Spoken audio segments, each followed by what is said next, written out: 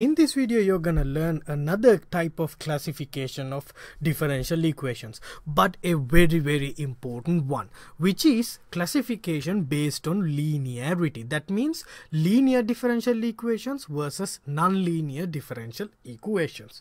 Okay, but before we move on there, let's talk about linear equations that we have seen before. What is the first linear equation that you saw? How do you write a linear equation? Remember, do you remember? We write it as y is equal to mx plus c. Right? Now, what is so special about y is equal to mx plus c? What does it represent? If you plot y versus x, what do you get? You get a straight line, right? So this is an equation of a straight line Alright, so that is exactly what linearity means. So the relationship between these two variables is a straight line, can be represented as a straight line. Now one more important thing, what type of a variable is y? Is it a dependent variable? Is it an independent variable? Y is the dependent variable right? So let's call it d dot v. And x is the independent variable. So if you plot dependent variable versus independent variable I get a straight line and that's exactly what linearity means in simple equations that we have learned before. Alright so let, let's look at another equation. Y is equal to x square. Now is this a linear equation that means if you plot y versus x do you get a straight line? Pause the video and think. No we don't right? If you plot it you get a parabola. Now this is not a straight line. So we call this a nonlinear differential equation, simply not linear. Okay, so then how do you really identify? Can you can you guess? Can you get some sort of a hint about to identify whether a given equation a linear one or a nonlinear one? How about y is equal to x cube? Is it linear or nonlinear? What do you think? It's nonlinear because if you graph y versus x, you don't get a straight line. But there's a cool relationship, cool similarity between nonlinear equations. How about the power of x? Think about the power of x. If it is greater than 1, do you get a linear linear equation? No, right? That is why this is uh, the definition or an, a model of a linear equation. So if the power of the dependent variable is greater than 1, if, if it is 2, 3, 4 and so and so on, you don't get a linear equation if you plot y versus x. Okay, that's that's how we discuss about linear equations when we were when we were in other classes. Now, how about in differential equations? This is what you have to wrap your head, head around. Now, in other equations, we discussed about linearity looking y versus x or dependent variable versus independent variable. But in differential equations, please digest this very well, okay? In differential equations, we do not look at y versus x. We do not look at dependent variable versus independent variable. We do not. Then, who contributes to the linearity? The one that we are considering in differential equations are y, that means the dependent variable, and among its all derivatives all derivatives that you have in the equation okay? All right so i will keep put dots. Let's say you have an nth order differential equation and you have n derivatives. And what does this simply mean? We consider about uh, consider y and its derivatives for linearity. Okay. Now figuring out whether a differential equation is linear or non-linear in the beginning little bit hard okay? At least until a few days until uh, a few examples. So let me give you three facts three things that you should look for when you're deciding whether differential equation is linear or not. Okay so what i'm going to show you here look at this equation okay? It looks a little bit intimidating but this is the definition or this is the model for a linear differential equation. This is how a linear differential equation look like. Okay so you will be like uh, thinking now just give me those three facts right? Okay so let me give you those three facts. Three things that you should watch out for. First thing first thing come from our basic knowledge. We cannot have power greater than 1 but power of who? In previous old equations that we learned power of the independent variable. That means power of x. But here we do not consider x for linearity. We consider y and its derivative. So what does that mean? Y and its derivatives should not have power greater than 1 should not have degree greater than 1 okay?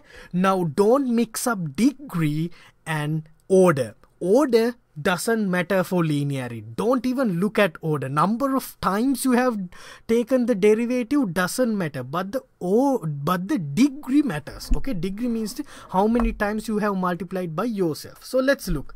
Here y to the power 1 that's good. dy over dx to the power 1 right here you have taken the n derivative but the term is power is 1 here you have taken the n derivative but the power is 1 so power should be 1 then you have a linear differential equation. At least uh, the first condition is satisfied. So power should be 1 okay?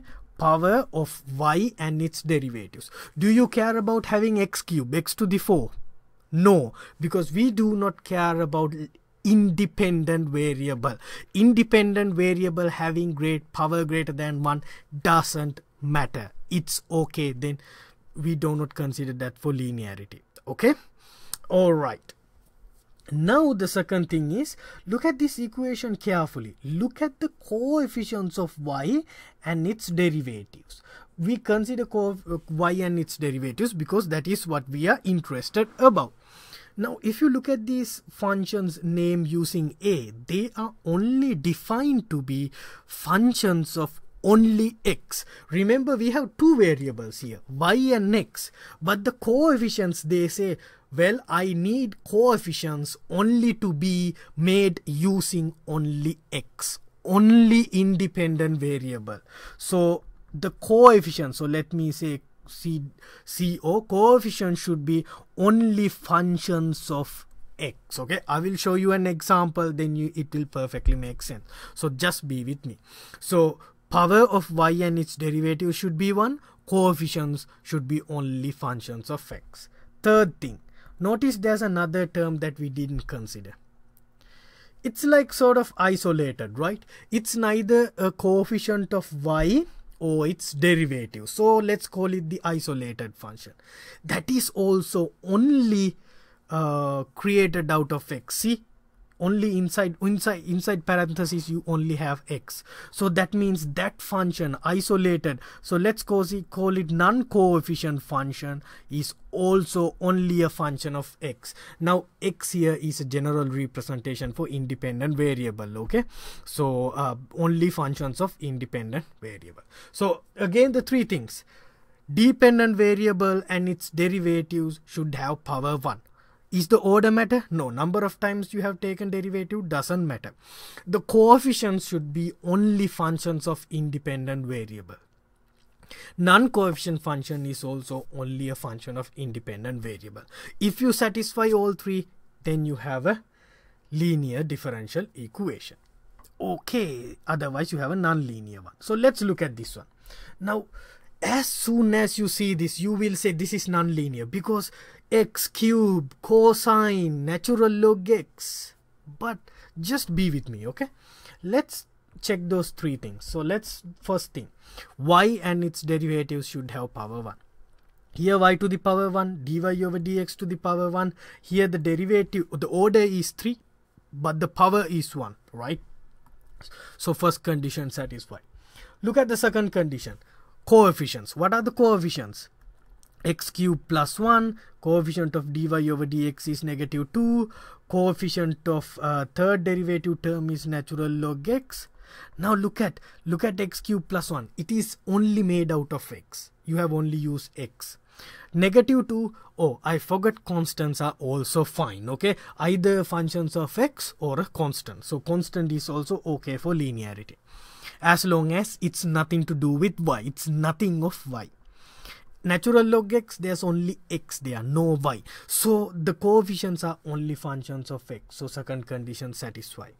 Third condition isolated function. What is the isolated function? Cosine x right? So e so it's also only made out of x. So that's the only function of x. So then this is three conditions satisfied this is a linear differential equation okay? In next video we are going to see lots of examples all right so this is just an introduction. So let me show you let me create a one non-linear example for you. Y y prime minus 2y is equal to 3x okay. Now powers. First condition first. Power of y is 1 power of y prime is 1 prime means first derivative. Its order. No problem okay?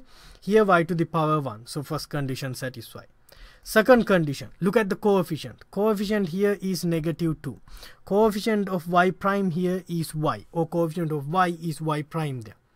Now the coefficient one of the coefficients is a function of y. It's clearly y made out of y right? So then the second condition is violated because second condition said you have to have only functions of uh, x independent variables as coefficients right? But here we have y as a coefficient which is uh, which is y which is dependent variable. So the second condition didn't satisfy.